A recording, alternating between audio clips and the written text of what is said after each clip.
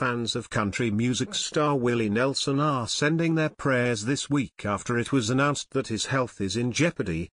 On Saturday, the 83-year-old singer stopped his concert for unknown reasons and appeared disoriented on stage. I saw Willie Nelson perform in New Braunfels on Saturday night, and it was beautiful, and it was sad, Brendan Meyer, who was in the audience, wrote. His first song was Whiskey River, but his guitar seemed to be out of tune. Everyone knew it except Willie. When he finished, he gently put it down and walked off stage. Willie's band continued to play without him. He was gone for five minutes, then ten, Meyer continued.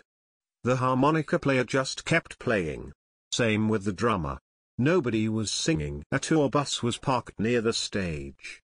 Then Willie, who turns 84 at the end of the month, walked back on stage to a loud roar, and in succession played all the hits, On the Road Again, Always on My Mind, Mamas don't let your babies grow up to be cowboys.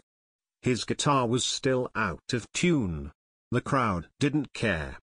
We were just happy to see Willie, even though it wasn't the Willie that most fans had seen many times before, or the Willie they'll remember, Myers concluded.